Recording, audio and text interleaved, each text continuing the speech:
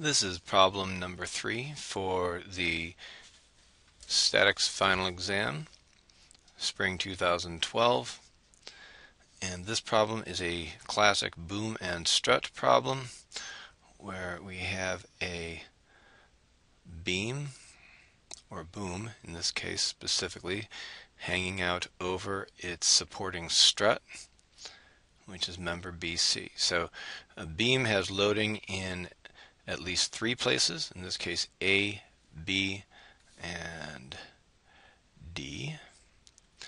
And the strut only has loading in two locations, C and B.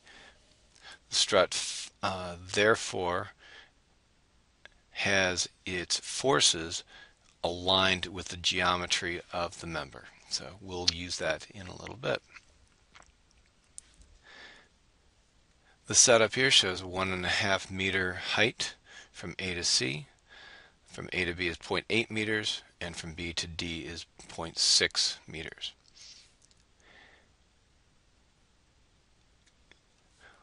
We removed the supports at A and C. They were both pinned, so we, we replaced them with red arrows. This one will be AY, AX.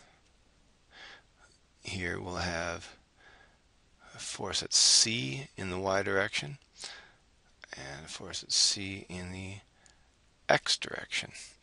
In order to calculate the reactions at CX and AX, we can take the moments about A and C. So sum the moments about point A, they have to equal zero.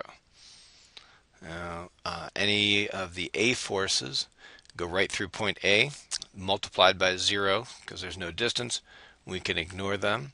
Likewise with CY, CY goes right through point A, it has zero moment arms, so we will ignore that.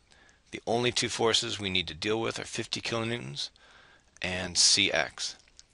The forces at point B are internal and have no effect on the entire system.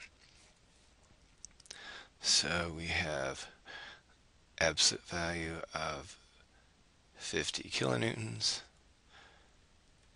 times 0.6.8 is 1.4 meters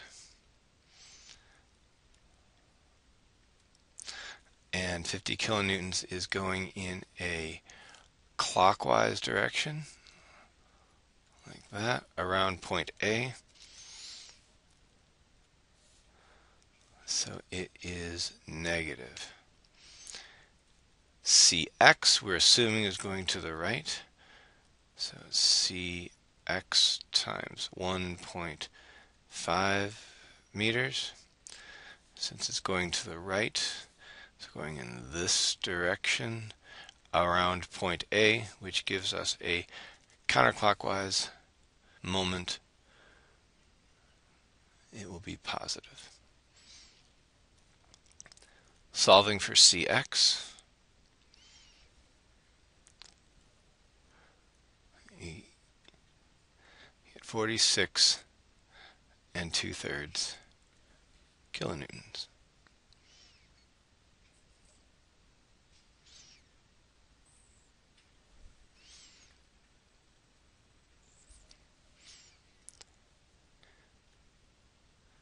If we take the moments about point C with very similar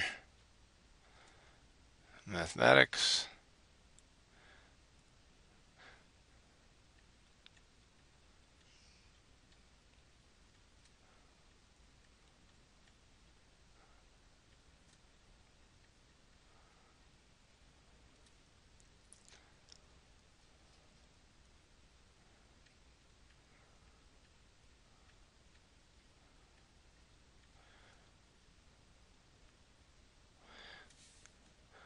As we take the points about point C, Cx, Cy, and Ay all go through point C, so they'd be multiplied by 0.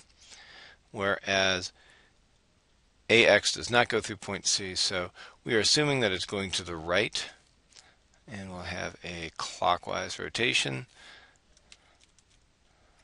and so it will also be negative. We'll find out later that AX actually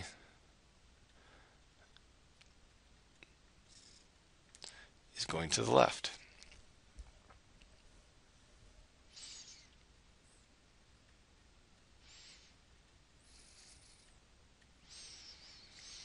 Obviously, if we do a check, sum of the forces in the x direction, they must equal 0. The only ones we have are AX and CX, and as we can see, they add up to 0.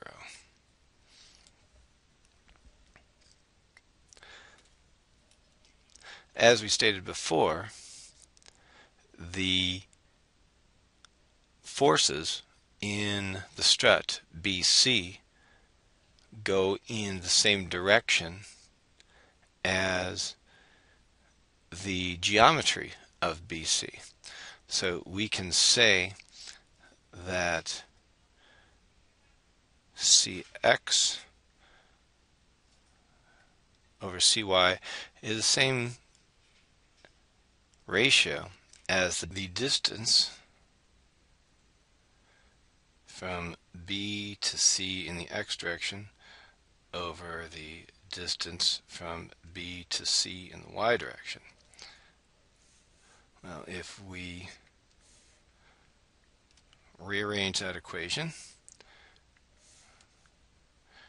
cy equals cx times d bcy over d bcx and we have 46 and 2 thirds kilonewtons times 1.5 meters over 0.8 meters. These are actually minus signs, but they cancel out one on top of the other. And CY is 87.5 kilonewtons. The problem is asking for simply the total force at joint C. So our last step is to calculate that. Total force simply cx squared plus cy squared. Take the square root of that. And we end up with 99.2 kilonewtons. If we want to find the angle, then we take the inverse tangent of cy over cx and we get 61.9 degrees.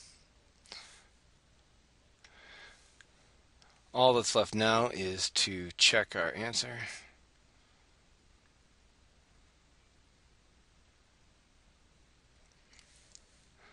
And we can do that by looking at A,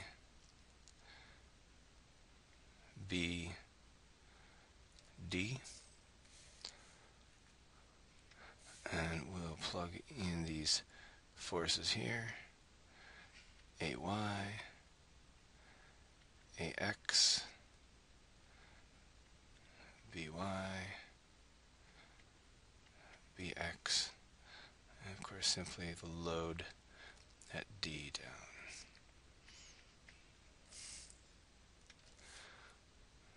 Dimensions here again are 0.8 meters, 0.6 meters.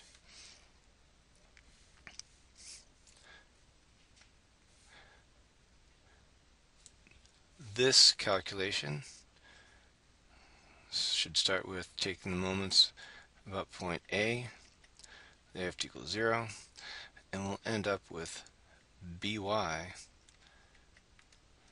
being 87.5 kilonewtons.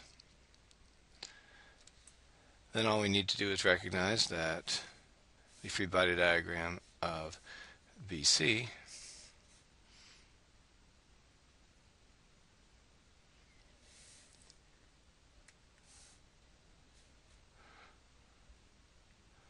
will have By down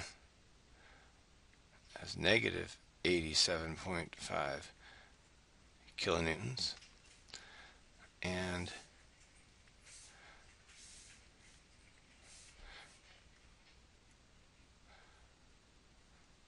Cy will, well, based on sum of the forces in the y direction, equal to 0. Cy will be positive 87.5 kilonewtons, just as we had over here. And if we do the uh, slope technique again we used here, then uh, we will find Cx uh, also back equal to 46 and 2 thirds kilonewtons. So that checks out.